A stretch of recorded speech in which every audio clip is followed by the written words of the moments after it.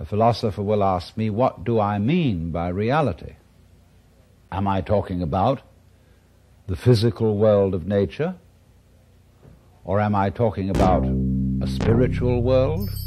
Or what? And to that I have a very simple answer. When we talk about the material world, that is actually a philosophical concept. So in the same way, if I say that reality is spiritual, that's also a philosophical concept. And reality itself is not a concept. Reality is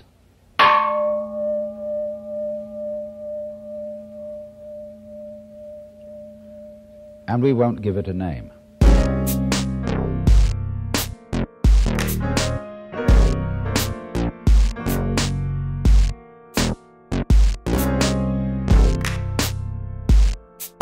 And we won't give it a name.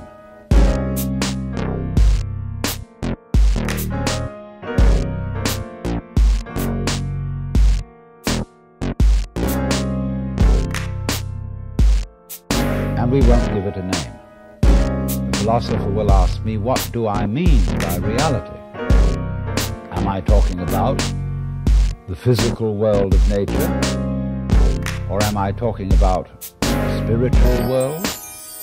Or what? To that I have a very simple answer.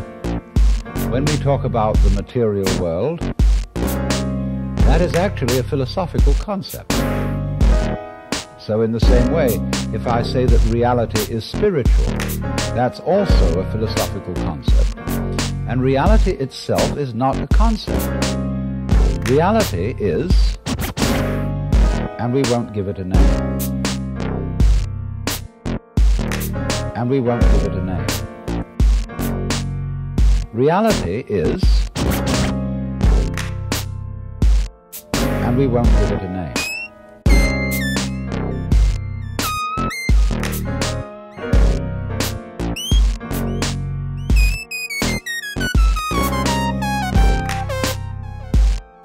and we won't give it a name.